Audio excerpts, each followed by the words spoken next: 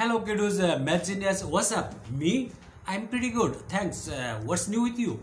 In today's video, we're going to learn a formula that tells you the correctness when you do a division problem. Doesn't do I make any senses to you? Dad, sorry to say no. Okay.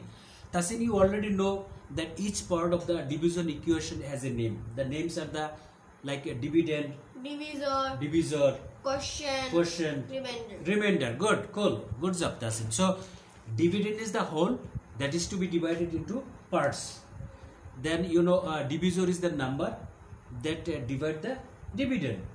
And you know uh, quotient uh, quotient is the fancy word for the answer.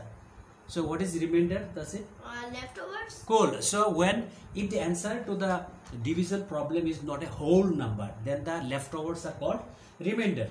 Uh, for example we can say uh, we have 10 chocolates so how will you distribute them among three of your friends One sec, please. okay uh, well Tahseen now you are dividing uh, uh, 10 chocolates among three friends so here 10 is dividend 3 3 is 9 remainder 1 so if you put the number if you put the number in the formula so we get dividend is equal to 10, 10.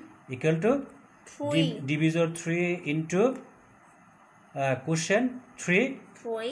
plus remainder 1 plus plus remainder one. Plus plus remainder 1 1 equal to 3 3 is 9 Three three is nine. Plus 1 plus one. Again equal to 10 equal to ten. so Tahseen let us check our division by multiplication. So well Tahseen uh, we are checking our uh, division by multiplication. Here we see three friends into three chocolates each equal to nine chocolate and remainder is one. So you see 10 chocolate right?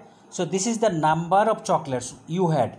So the, the answer is correct right Yeah. so we can say dividend equal to divisor into quotient plus remainder uh, do you get me Yeah. that's all for today